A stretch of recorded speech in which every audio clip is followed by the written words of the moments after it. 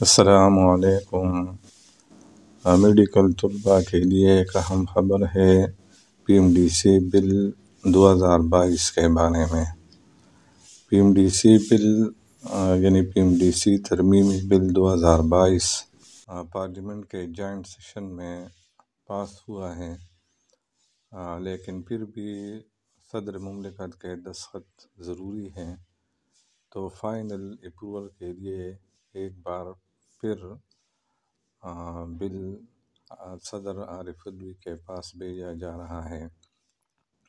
लेकिन इस दफ़ा सदर इस पर दस्तखत करेंगे क्योंकि बिल जॉइंट सेशन ने पास किया है।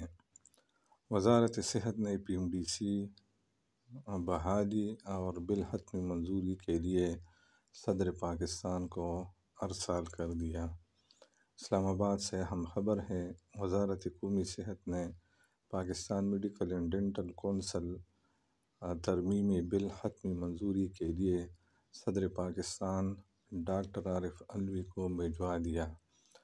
वजारत कौमी सेहत के मजकूरा बिल को बीस दिसंबर को पार्लियामेंट के मुश्तर अजलास में मंजूर किया गया था।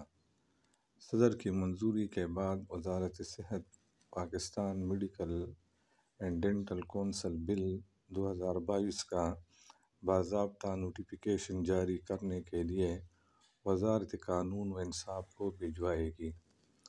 यानी यह बिल अब भी मराहल में है।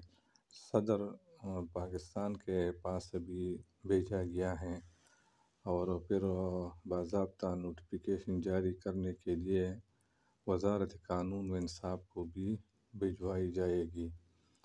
बहरहाल 2023 वाला जो मेडिकल टेस्ट होगा वो पीएमडीसी कंडक्ट करेगा।